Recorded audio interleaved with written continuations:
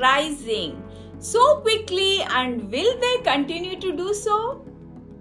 In today's real estate market, that is the question that a lot of people are asking. This year alone, we have seen the Federal Reserve rise the 30 year fixed mortgage rates six times. Hi, this is Suma the real estate broker in the Bay Area. According to Sam Khater, chief economist of Freddie Mac, the uncertainty and volatility in financial market is heavily impacting mortgage rates. The 30 year fixed rate mortgage has more than doubled over the last year, he quotes. As you can see, these are significant increases. So, what is driving up the mortgage rates so quickly? The main answer has to do with the inflation.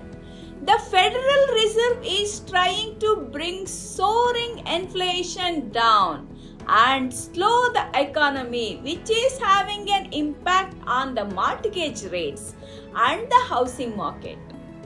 Until we see the inflation come down, we may continue to see mortgage rates continue to rise in the new year.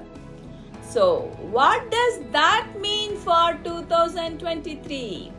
According to Mark Fleming, chief economist of First American States, while mortgage rates are expected to continue to drift higher over the coming months, much of the rapid increase in rate is likely behind us.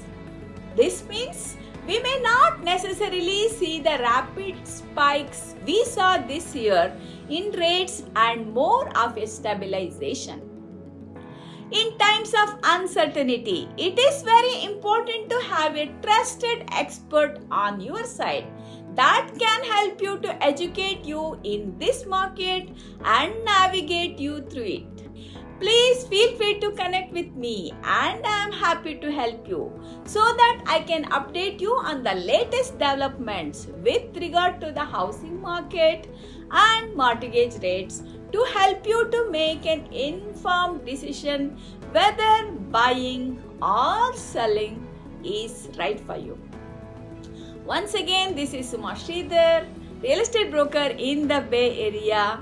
Call me for all your real estate needs. Thanks for watching. Have a wonderful day.